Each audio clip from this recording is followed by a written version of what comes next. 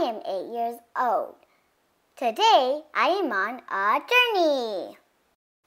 I find math very interesting. I want to show you how to learn math in a very fun way.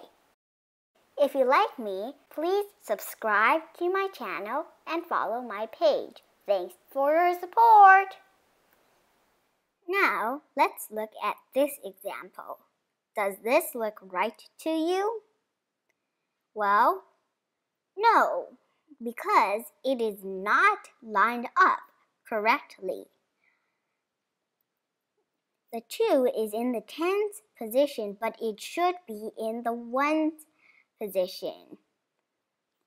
So the correct form is like this.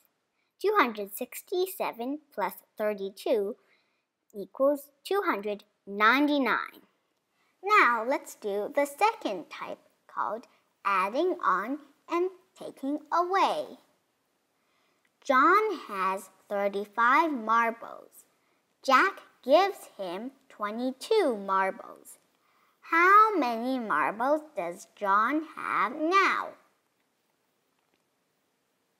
So, John has 35 marbles earlier. And Jack gives him another 22 marbles. The question is, how many marbles does John have now? So, this is an addition problem. 35 plus 22 equals 57. So, John has 57 marbles now. Now, let's look at the square.